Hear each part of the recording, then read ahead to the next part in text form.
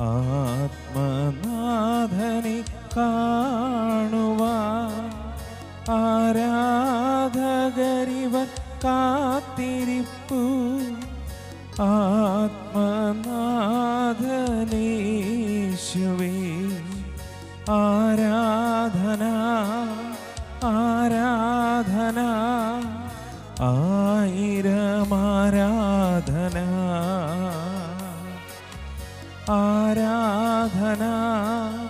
ആരാധന ആത്മാവിലാരാധന.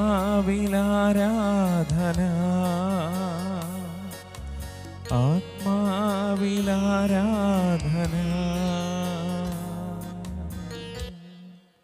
നിത്യസ്തുതിക്കേറ്റവും യോഗ്യമായ പരിശുദ്ധ പരമ ദിവ്യകാന്യത്തിന് എന്നേരവും ആരാധനയും സ്തുതിയും പുകഴ്ചയും ഉണ്ടായിരിക്കട്ടെ. നിത്യസ്തുതിക്കേറ്റവും യോഗ്യമായ പരിശുദ്ധ പരമ ദിവ്യകാരുണ്യത്തിന് എന്നേരവും ആരാധനയും സ്തുതിയും പുകഴ്ചയും ഉണ്ടായിരിക്കട്ടെ.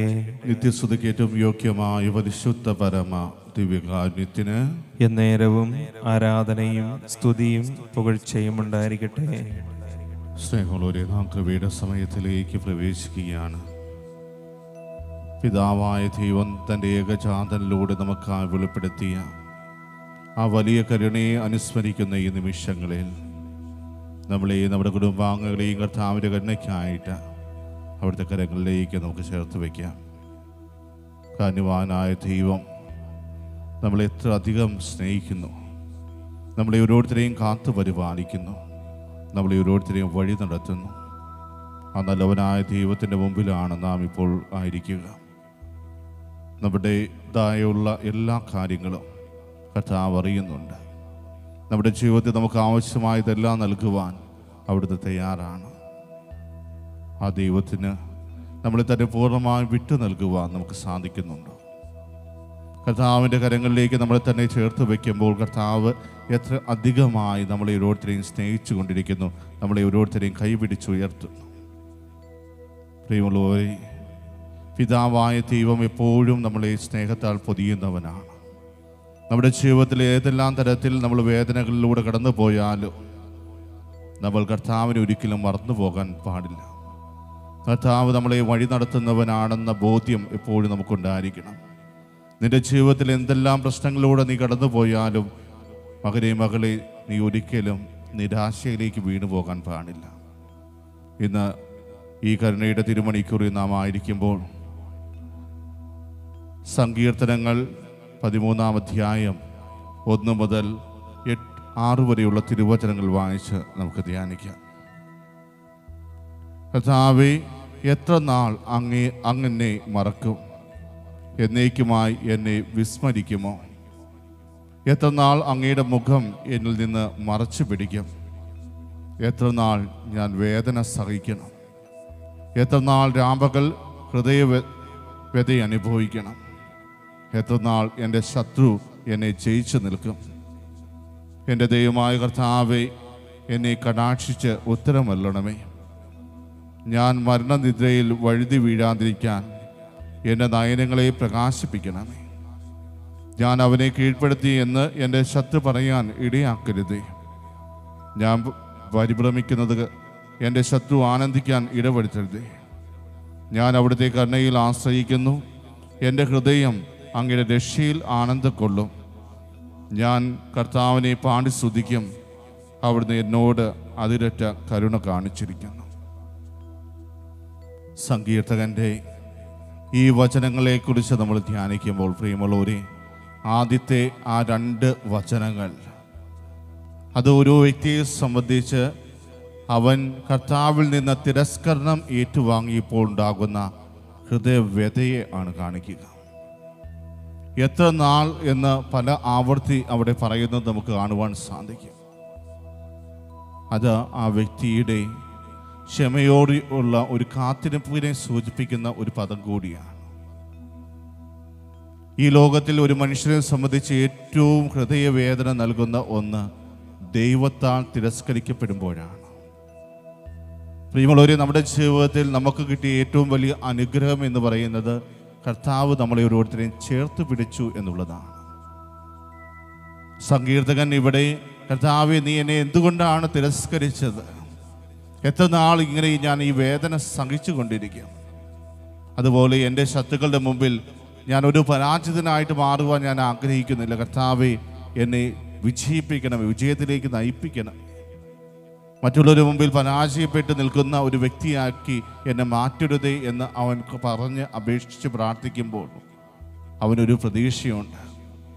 ഞാൻ ഇത്രയും കാലം ദേവത തിരസ്കരിക്കപ്പെട്ടവനാണ്. എങ്കിൽ പോലും കർത്താവ് എന്നെ ചേർത്ത് പിടിക്കും. കർത്താവ് എന്നെ കൈപിടിച്ച് ഉയർത്തുമെന്ന വലിയ പ്രതീക്ഷയും പ്രത്യാശയും ഇവിടെ നമുക്ക് സങ്കീർത്തനങ്ങളിൽ കാണുവാൻ സാധിക്കും. പ്രിയമുള്ളവരെ അത് തന്നെയായിരിക്കണം നമ്മുടെ ഓരോരുത്തരും ജീവിതത്തിൽ നമ്മൾ ഓരോരുത്തരും കാത്തു സൂക്ഷിക്കേണ്ടത്. നമ്മുടെ ജീവിതത്തിൽ ഒത്തിരിയേറെ തിരസ്കരണങ്ങൾ നാം ഏറ്റുവാങ്ങാറുണ്ട്. ഒരുപക്ഷെ നമ്മുടെ മാതാപിതാക്കളിൽ നിന്നായിരിക്കാം. അല്ലെങ്കിൽ നമ്മുടെ സുഹൃത്തുക്കളിൽ നിന്നായിരിക്കാം നമ്മൾ സ്നേഹിക്കുന്ന വ്യക്തികളിൽ നിന്നായിരിക്കാം നാം ജോലി ചെയ്യുന്ന സ്ഥലങ്ങളിൽ നിന്നായിരിക്കാം. അങ്ങനെ പലതരത്തിലുള്ള തിരസ്കരണങ്ങൾ നമ്മുടെ ജീവിതത്തിൽ നാം ഏറ്റുവാങ്ങുമ്പോൾ അതെല്ലാം നമുക്ക് വലിയൊരു വേദനയായിട്ട് മാറുന്നുണ്ടെങ്കിൽ പ്രിയമുള്ളവരെ അതിനേക്കാൾ എത്രയോ വലിയ വേദനയാണ് ദൈവത്താൽ തിരസ്കരിക്കപ്പെടുമ്പോൾ നമുക്ക് ലഭിക്കുക. എന്നാൽ പുത്രനായ ദൈവത്തിലൂടെ കർത്താവ് നമ്മളെ എല്ലാവരെയും ചേർത്ത് പിടിക്കുകയാണ് ചെയ്തത്. ഒരിക്കലും തിരസ്കരിക്കുകയല്ല. നമ്മൾ പാപത്തിന്റെ പടുകുഴിയിലേക്ക് വീണു പോകുന്നു എന്ന് തിരിച്ചറിഞ്ഞപ്പോൾ നമ്മളെ വീണ്ടെടുക്കുവാൻ വേണ്ടി തന്റെ ഏകജാതനെ തന്നെ നൽകുവാൻ കർത്താവ് തിരുമനസ്സായി.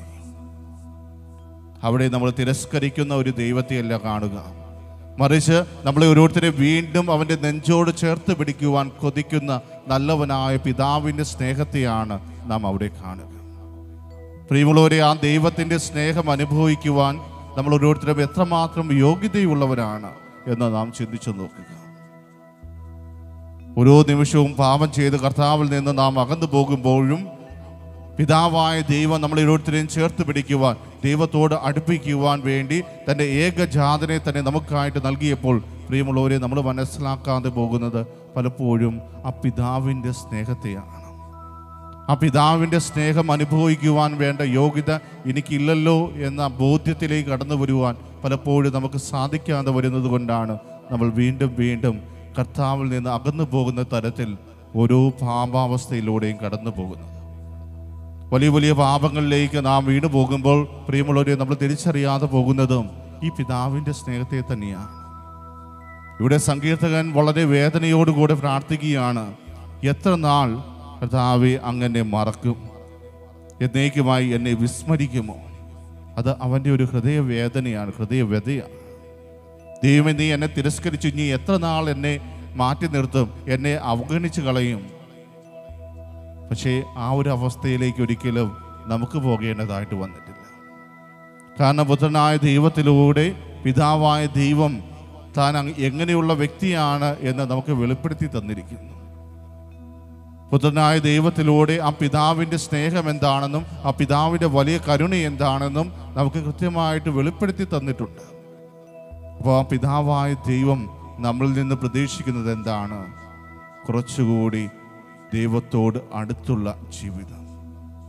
ദൈവത്തിന്റെ കൽപ്പനകൾ പാലിച്ചുകൊണ്ട് ദൈവത്തെ അനുസരിക്കുന്ന ഒരു വ്യക്തിയായിട്ട് ജീവിച്ചു വരുവാൻ കർത്താവ് നമ്മളെ പ്രതീക്ഷിക്കുന്നുണ്ട്. പ്രിയമുള്ളവരെ എന്നാൽ പലപ്പോഴും നമുക്ക് സാധിക്കാതെ പോകുന്നതും ഇത് തന്നെയാണ്. നാം ഒത്തിരിയേറെ പ്രിവിലേജഡ് ആയിട്ടുള്ള ഗ്രൂപ്പാണ്. ദൈവത്തിന്റെ സ്നേഹം കൂടുതലായിട്ട് അനുഭവിക്കാൻ സാധിച്ചിട്ടുള്ളവരാണ്. പഴയ നിയമ പുസ്തകത്തിലെ ജനതകളേക്കാൾ കൂടുതലായി. ദൈവത്തെ അറിയുവാൻ ദൈവത്തിന്റെ പുത്രൻ ആരാണെന്ന് മനസ്സിലാക്കുവാൻ ആ ദൈവത്തിന്റെ പുത്രന്റെ പ്രവൃത്തികൾ എന്താണെന്ന് തിരിച്ചറിയുവാൻ അവൻ എപ്രകാരമാണ് നമ്മൾ ഓരോരുത്തരെയും വീണ്ടെടുത്തതെന്ന് മനസ്സിലാക്കുവാൻ അങ്ങനെ പല രീതിയിലും അവരെക്കാൾ കൂടുതലായി ദൈവത്തെ അറിയുവാനുള്ള അവസരം നമുക്ക് ലഭിച്ചിട്ടുണ്ട്. പഴയ നിയമത്തിലെ ജനതയെ സംബന്ധിച്ച് അവരുടെ ഇടയിലേക്ക് കർത്താവ് അവർക്കായി നൽകിയ പ്രവാചകന്മാരുണ്ടായിരുന്നു. അതുപോലെ തന്നെ അവരുടെ ഇടയിൽ ഒത്തിരിയേറെ നിയമജരുണ്ടായിരുന്നു അവർക്ക് ആവശ്യമായ രാജാക്കന്മാരെ ദൈവം നൽകിയിരുന്നു. അതിലൂടെയെല്ലാമാണ് ആ ദൈവത്തെക്കുറിച്ച് കുറച്ചെങ്കിലും അവർക്ക് മനസ്സിലാക്കുവാൻ സാധിച്ചത്. പലപ്പോഴും അവർ തെറ്റിലേക്ക് കൂടുതലായിട്ട് പോകുന്നു എന്ന് തിരിച്ചറിഞ്ഞപ്പോൾ പിതാവായ ദൈവം അവിടെ എങ്ങനെയാണ് പ്രവർത്തിച്ചത്? ഓരോ പ്രവാചകന്മാരെയും അവരുടെ ഇടയിലേക്ക് അയച്ചു. അവർ ധീരതയോടുകൂടെ അവരുടെ ഇടയിൽ നിന്നുകൊണ്ട് നിങ്ങൾ ചെയ്യുന്നത് തെറ്റാണ്. നിങ്ങൾ നേരായ വഴിയിലേക്ക് തിരികെ വരണം എന്ന് അവർക്ക് ആവശ്യമായ നിർദ്ദേശങ്ങൾ കൊടുത്തു. അതിന് ഏറ്റവും വലിയ ഉദാഹരണമാണ് യോന പ്രവാചകൻ. നിലവേ നിവാസികളെ പൂർണമായും ദൈവത്തിലേക്ക് തിരികുവാൻ യോന പ്രവാചകന്റെ ആ പ്രവൃത്തികൾക്ക് സാധിച്ചുവെങ്കിൽ പ്രിയമുള്ളവർ അതുപോലെയാണ് ഓരോ മക്കളെയും ദൈവത്തിനായിട്ട് നേടിയെടുക്കുവാൻ പഴയ നിയമത്തിൽ ദൈവം പ്രവർത്തിച്ചത്. എന്നാൽ പുതിയ നിയമത്തിലേക്ക് കടന്നു വരുമ്പോൾ നമുക്ക് ദൈവത്തെക്കുറിച്ച് അറിയുവാൻ ദൈവത്തിന്റെ പ്രവർത്തനങ്ങളെക്കുറിച്ച് അറിയുവാൻ വിശുദ്ധ ഗ്രന്ഥം നമ്മുടെ മുമ്പിലുണ്ട്. ഓരോ ദിവസവും വിശുദ്ധ ഗ്രന്ഥമെടുത്ത് വായിച്ചു നോക്കുമ്പോൾ നമുക്ക് മനസ്സിലാക്കുവാൻ സാധിക്കും നമ്മുടെ ദൈവം എപ്രകാരമാണ് ഈ ജനതയെ കാത്തു പരിപാലിച്ചത്. നമുക്ക് ഈ ലോകത്തിലേക്ക് കടന്നു വരുവാനുള്ള അവസരം നൽകിയ ആ നിമിഷം മുതൽ ഇന്ന് ഈ നിമിഷം വരെ ദൈവമായ കർത്താവ് എപ്രകാരമാണ് നമ്മുടെ ജീവിതത്തിലേക്ക് കടന്നു വരുന്നതെന്ന് ഓരോ വചനത്തിലൂടെയും കർത്താവ് നമ്മളെ ബോധ്യപ്പെടുത്തുന്നുണ്ട് എന്തിന്? സഭയിലെ പണ്ഡിതന്മാർ. ഈ വചനത്തിന്റെ പൊരുൾ എന്താണെന്ന് വ്യാഖ്യാനം എന്താണെന്ന് വളരെ കൃത്യമായിട്ട് നമുക്ക് മനസ്സിലാക്കി തരുവാൻ പരിശുദ്ധാത്മാവിനാൽ പ്രചോദിതരായി അവർ ഓരോ പുസ്തകങ്ങളിലും കുറിച്ചിട്ടുണ്ട്. ഈ വചനം എന്താണ് അർത്ഥമാക്കുന്നത്? ഈ വചനത്തിലൂടെ ദൈവമായ കർത്താവ് നമ്മോട് എപ്രകാരമാണ് സംസാരിക്കുന്നത്?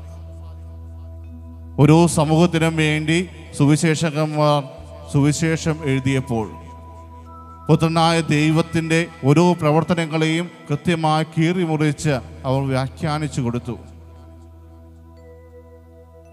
അവരുടെ സമൂഹത്തിൽ ആ നിമിഷം നടമാടിയിരുന്ന പ്രശ്നങ്ങൾ എന്താണ്? അതിന് ഉള്ള പരിഹാരം എന്താണ് എന്ന് കൃത്യമായിട്ട് വിവരിക്കുന്നതായിരുന്നു ആ പുസ്തകങ്ങളെല്ലാം. പൗലോസ് ലീഹ എഴുതിയ ലേഖനങ്ങളും എത്രമാത്രം നമ്മളെ ദൈവത്തിലേക്ക് അടുപ്പിക്കുന്നതാണ്. ദൈവത്തിന്റെ സ്നേഹം എന്താണെന്ന് കൃത്യമായിട്ട് മനസ്സിലാക്കി തരുവാൻ ദൈവസ്നേഹത്തെക്കുറിച്ച് വളരെ ആഴമേറിയ പഠനങ്ങൾ പൗലോസ് ലീഹായുടെ ലേഖനങ്ങളിൽ നമുക്ക് കാണുവാൻ സാധിക്കും. പ്രിയമുള്ളവരെ നമ്മളെ സംബന്ധിച്ച് എത്രയേറെ അനുഗ്രഹീതരായ വ്യക്തികളാണ് നാം ഓരോരുത്തരും. ദൈവത്തിന്റെ സ്നേഹം എന്നും അനുഭവിക്കുവാൻ അവസരം ലഭിച്ചു. ഈശോയെ ഒരു തിരുവോസ്തിയായി നമ്മുടെ ഉള്ളിലേക്ക് സ്വീകരിക്കുവാൻ നമുക്ക് ഭാഗ്യം ലഭിച്ചു. നമുക്ക് അഭിമാനത്തോട് പറയാൻ സാധിക്കണം ഞാൻ എന്നും ഈശോയെ സ്വീകരിക്കുന്ന വ്യക്തിയാണെന്ന്. ഈശോയെ നമ്മുടെ ഹൃദയങ്ങളിലേക്ക് നാം സ്വീകരിക്കുമ്പോൾ പ്രിയമുള്ളവരെ നമുക്ക് പറയുവാൻ സാധിക്കണം ഈശോയെ സ്വീകരിക്കാൻ തക്ക വിധം എന്റെ ഹൃദയത്തെ ഞാൻ ഒരുക്കിയിരുന്നു എന്ന് പലപ്പോഴും നമുക്ക് സാധിക്കാതെ പോകുന്നതും അതാണ്. യേശുവിനെ ഓരോ ദിവസവും നമ്മൾ സ്വീകരിക്കുവാൻ തയ്യാറാകുമ്പോഴും എന്റെ ഉള്ളം എത്രമാത്രം വിശുദ്ധമാണ്. എന്റെ ഈശോയെ എന്റെ ഹൃദയത്തിലേക്ക് സ്വീകരിക്കുവാൻ വേണ്ട യോഗ്യത എനിക്കുണ്ടോ? എന്റെ ഈശോയ്ക്ക് നല്ലൊരു വാസസ്ഥാനമാകുവാൻ എന്റെ ഹൃദയത്തെ എനിക്ക് ഒരുക്കുവാൻ സാധിച്ചിട്ടുണ്ടോ? നാം ഓരോരുത്തരും ആലോചിച്ച് നോക്കേണ്ട മേഖലയാണത്. അതുപോലെ തന്നെ ഇന്നത്തെ ഈ വായനയുടെ അവസാന ഭാഗത്ത് സങ്കീർത്തകൻ ദൈവത്തെ സ്തുതിക്കുന്നുണ്ട്. ഞാൻ അവിടുത്തെ കരുണയിൽ ആശ്രയിക്കുന്നു. എന്റെ ഹൃദയം അങ്ങയുടെ രക്ഷയിൽ ആനന്ദം കൊള്ളും. ഞാൻ കർത്താവിനെ പാടി സ്തുതിക്കും. അവിടുന്ന് എന്നോട് അതിരറ്റ കരുണ കാണിച്ചിരിക്കുന്നു. പ്രിയമലോരെ നമ്മുടെ ജീവിതത്തിലേക്കും കർത്താവ് തന്റെ കരുണ വർഷിക്കുമ്പോൾ നാം ഓരോരുത്തരും ചെയ്യേണ്ട ഒരു കാര്യം അതാണ്. സങ്കീർത്തകൻ തന്റെ ഈ അധ്യായത്തിന്റെ തുടക്കത്തിൽ എന്താണ് പറയുന്നത്? എത്ര നാളാണ് അങ്ങനെ മറക്കുക? എന്നേക്കുമായി എന്നെ വിസ്മരിക്കുമോ? അങ്ങനെയുള്ള ഡൗട്ടുകളെല്ലാം ഉച്ചരിക്കുന്നതോടൊപ്പം തന്നെ അവസാന ഭാഗത്ത് കർത്താവിലുള്ള തന്റെ പൂർണമായ പ്രത്യാശ വെളിപ്പെടുത്തിക്കൊണ്ട് കർത്താവ് തന്നെ കരുണ കാണിച്ചിരിക്കുന്നു തന്നിലേക്ക് അവിടുത്തെ കരുണ വർഷിച്ചിരിക്കുന്നു എന്ന് തിരിച്ചറിഞ്ഞുകൊണ്ട് കർത്താവിനെ പാടി സ്തുതിക്കുവാൻ തയ്യാറാകും. കർത്താവിന്റെ കരുണയിൽ ആനന്ദം കൊള്ളുവാൻ തയ്യാറാകും. പ്രിയമുള്ളവരെ അവന് ലഭിക്കുമെന്ന ആ വലിയൊരു പ്രതീക്ഷ വലിയൊരു പ്രത്യാശ അവനുണ്ടായി.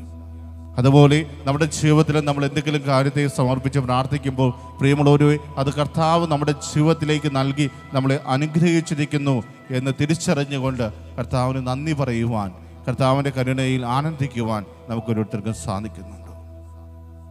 ഇല്ലെങ്കിൽ ഇന്ന് ഈ നിമിഷം ഇതാ ദിവ്യകാന്യനാഥന്റെ മുമ്പിൽ നമുക്ക് നന്ദി പറയാം. സ്നേഹമുള്ളവർ ഈ കരുണയുടെ ചവമാലയിൽ കർത്താവ് നമ്മളെ ഓരോരുത്തരെയും സമൃദ്ധമായിട്ട് അനുഗ്രഹിച്ചു. കർത്താവിന് നമുക്ക് നന്ദി പറയാം എന്നും കർത്താവ് നമുക്ക് ഇട്ട് നൽകുന്ന രക്ഷയിൽ ആനന്ദം കൊള്ളാം സങ്കീർത്തകൻ കർത്താവിനോട് അവസാനം പറഞ്ഞതുപോലെ ഞാൻ അവിടുത്തെ കരുണയിൽ ആശ്രയിക്കുന്നു. എന്റെ ഹൃദയം അങ്ങയുടെ രക്ഷയിൽ ആനന്ദം കൊള്ളും ഞാൻ കർത്താവിനെ പാടി സ്തുതിക്കും അവിടുന്ന് എന്നോട് അതിരറ്റ കരുണ കാണിച്ചിരിക്കുന്നു. പ്രിയമുള്ളവരെ നമുക്കും സങ്കീർത്തകനെ പോലെ അവിടുത്തെ കരുണയിൽ ആശ്രയിക്കാം. കർത്താവ് നമുക്കായിട്ട് നൽകുന്ന രക്ഷയിൽ നമുക്ക് ആനന്ദം കൊള്ളാം. കർത്താവ് നമുക്ക് നൽകിയ അനുഗ്രഹങ്ങളെ ഓർത്ത് അവിടത്തേക്ക് നന്ദി പറയാം. എന്നും അവിടുത്തെ കരുണയിൽ ആശ്രയിച്ചുകൊണ്ട് ജീവിക്കുവാൻ നമുക്ക് പരിശ്രമിക്കാം. ഈ ഒരു പ്രാർത്ഥനയോടുകൂടെ നമുക്ക് അവിടുത്തെ ആശീർവാദം ഏറ്റുവാങ്ങാം.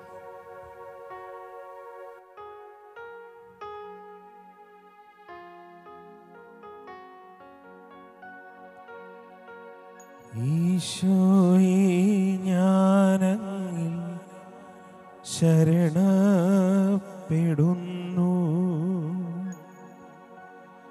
ഈശോയെ ഞാനങ്ങിൽ ശരണപ്പെടുന്നു. ഈശോയെ ഞാനങ്ങിൽ ശരണപ്പെടുന്നു.